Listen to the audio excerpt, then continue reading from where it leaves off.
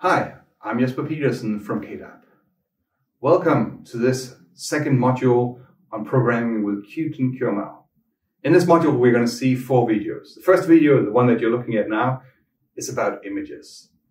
Then we'll see an, a video on transformation of items. That could, of course, be transformation of images, but it could be rectangle, it could be anything. You can do a lot of stuff with just images and transformation, as you will see. Following that, we'll talk about layout managers. We have three, at least four, possibly different ways of laying out our user interfaces with QML. And we'll see one of those four ways, namely the anchor layout in the third video of this module. And the final and fourth video of this module will address colors and gradients, just so that we can apply a bit of color to our rectangles that we're gonna love so much at the end of this uh, video series.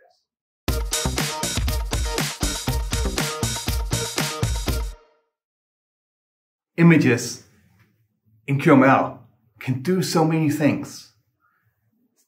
If you looked at the table of content of this video series up until now, you'd like, okay, so we've seen rectangles, we've seen item, which doesn't look like anything, and now we're going to see images. Is that really what user interfaces is about?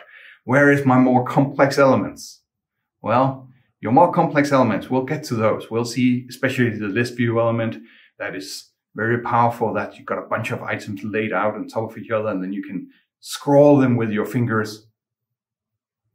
But you will be surprised once you get started with QML, how powerful it is to compose your user interfaces of just a bunch of images. I'll show you a very, very simple user interface of an analog clock. The analog clock actually looks pretty good and it even works. And that is done with three, three images. The background of the analog clock, the larger arm and the smaller arm. And some transformation is applied to that to make it look right. But that is in the next video, we'll see that. In this video, we'll start out with this very simple user interface here. Let's just start it up in Qt Creator. The user interface, and I can even run it, doesn't look like much. We got a blue background here, and on top of that, we got this, well, it's a rocket. It's not a beautiful rocket, but it's a rocket. The rocket is in this image element here, and the image element specifies where the rocket is doesn't say anything about its width and its height, so it will use whatever size of the image is. And then it's loaded from disk. I can show you the rocket here. It's one level up and then into images. And it was called rocket.png. There is your rocket. Doesn't, doesn't look like much, but hey, it's a start. Now, there's a few things to notice about the image element.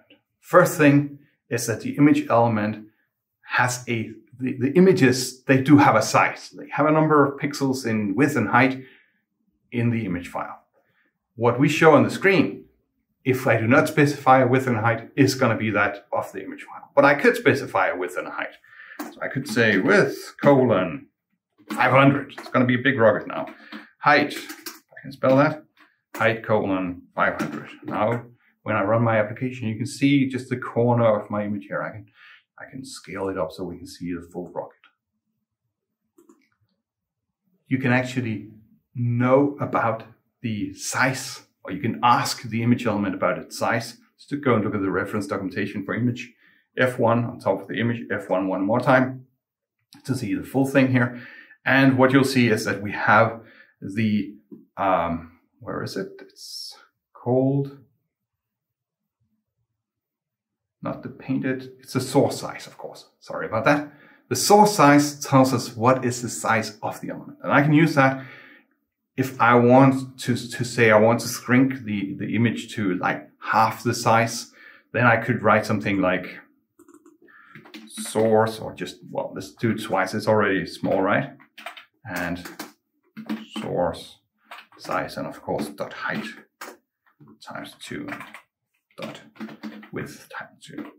Now I got an image that is twice the size. I got other ways of scaling it up using um, transformations that we'll see in the next video, but this is uh, one way of doing it. Let me just show you a, a, small trick that is very, very useful when you program with QML. You can write component.onComplete. And what you, I write after here is a piece of JavaScript code. That JavaScript code will be executed once a component has been completely initialized.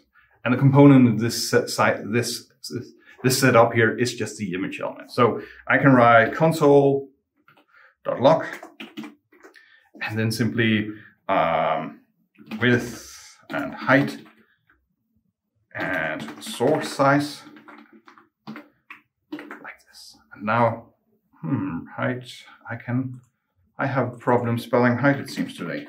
There we go. And now you can see it here. 94 times 222, so that's the, the, the height that, the width and the height that we actually ended up seeing on the screen but the size that came out of the image, the size on disk is 47 and times 111. Let me just uh, grab some code that I prepared up front here that will show you something else. The images are loaded asynchronously, meaning that I'll set up my image element, I will display it on the screen, and then in the background, it will start loading in the image. And I'll create a small example of that here. Let me just make things go away here. I've created a small example here with an image. It has a width and a height of a thousand pixels in each direction. I went somewhere to NASA and found a really big image that they have there. Uh, I think it's uh, it's two mega megabyte big or something like that. At least it's not a, a trivial little one. I have some fill mode here.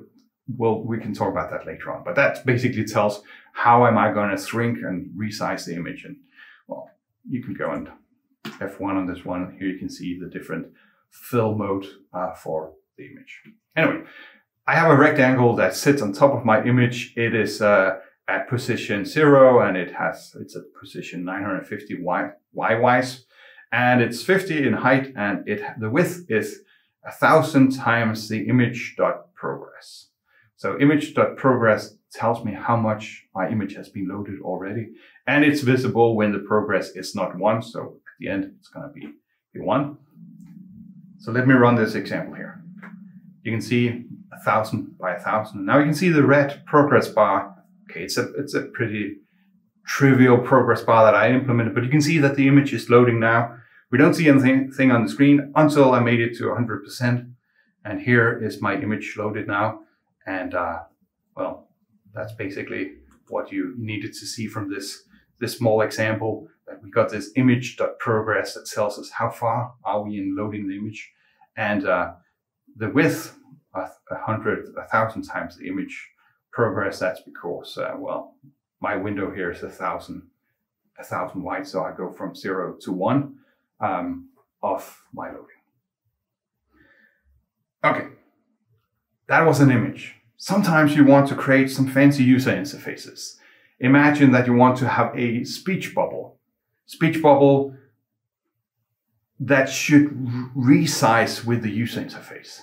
And how would you do that? If you just draw a picture of that speech bubble and you resize that, that picture, then it would be looking weird in the corners, perhaps. So what we can do instead is we have this element called a border image. The idea with the border image is that you will look at your input image. It's just a regular PNG file or whatever format you have. And then you will simply cut it in, in uh, nine squares. And the topmost, as you can see here, number one in, in our image, the topmost leftmost corner will not be scaled. Neither will three, seven, nine, they will not be scaled. But the sides will be scaled vertically and the top and the bottom will be scaled uh, horizontally, and the, the whole, the center of it will be scaled both horizontally and vertically. So our speech bubble would likely have the, in the, the, the, the speech part of the, the bubble will come up in the seven part. And then I'll have my corners in one, three, and nine. We have three different modes that we can scale the, the, the, the two, four, six, eight, and five sections on. That is using stretch, repeat, or round. And with stretch, I simply take whatever image is in say two and just stretch it out. So those, the input 12 pixels that I had will now be, be scaled out to 200 pixels, which is perfectly fine if they were just a straight line. But if they are some pattern, then it will likely not look good. So there I can do repeat, which basically takes the, the, the input and just repeat that a number of times. And then we got this special version called round. And the round makes sure that I will have a, that, that my image will be in an integral amount of, of sections. Let's see an example for this. That makes it, it much easier. So I have my border image as we see here. The source is uh, this file here. My border is left 30, top 30, right 30, and bottom 30. So that's basically my left, my right, my top, and my bottom line that we see here. So there's 30 pixels from here up to up to here. And then in this screenshot here, I got it, uh, it, it comes out of this example that we have down here.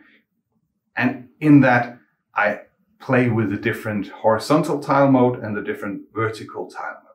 So border image stretch and border image repeat. That's likely what we see here. I'm stretching it, so I'm cutting actually in the middle of one of these. And here I am, well, I'm stretching that too.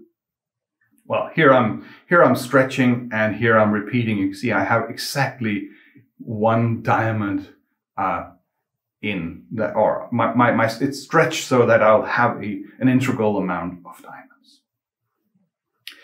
That's one thing in this example that we haven't seen up until now in, in this video series. You can see it says border left and so on. It, it could actually just have said border dot left colon 30, border dot top colon 30, border dot right colon 30, and border dot bottom colon 30. Um, but we can do this with with uh, properties in in a com compound way, where I simply say border and then left, right, top, and so on. We'll see that that we use that trick a lot when we talk about anchor layout two videos from now. Okay, the final element that you, you see here is our animated image. And let me be brutally honest with you. Yes, I did include this uh, this slide here just so you can see my animation running in my in my slide here. The slide deck is actually a tool that we've created in KDAB called Slide Viewer. Sorry, it's not available for the outside world, but Slide Viewer is a QML application, and this QML application loads in this example that we see up there. Let me show you the code for the for the animated images. I've loaded it up in Qt Creator now, and what you'll see in here is there's a bunch of comments don't be disturbed about that. That's again our slide viewer application that is able to read those files exactly as it is. So when you see the code block inside of the slide, it's actually loaded in from here. So just ignore these slide and height and whatever. What you see in here is I got a rectangle and let me just run the example so you can remember what it looks like. Coming up, there we are. So it's uh, my animated image here and the rectangle with this red bar jumping down there. So I got my rectangle, that's the, the background of everything. I got my animated image. My animated image has an X and a Y and a width and height and so on. Here is the source of this animated image. It has this on status changed. That's a that's a signal handler. We'll talk about that a bit later, but that's a signal handler in our animated image. And it says whenever the status is equal to ready, then frames is equal to frames count. And frames is a property uh, that I have up here. We'll also talk about that a, bit later. And then I got my rectangle with with this rectangle that that is the the, the, the red bar that moves all the time. And I got a text element saying frame whatever of whatever. And the whatever part here is animation.current frame. So my animation have this property that is updated whenever I'm at the next frame. And my frames is, well, that was the, the property that we had up there. So relatively simply, simple, you can get uh, an animation into your, into your application if you want to do that. Why you want to do that is beyond me, but hey, now I've given you the tools. That's the end of this video here. We've now seen how we can create images in our application. We got this rocket loaded up, but we want more than that. We want perhaps our rocket to be rotated or scaled or whatever. And for that, please stay tuned, subscribe to our channel, and in the next video, we're going to see how we can transform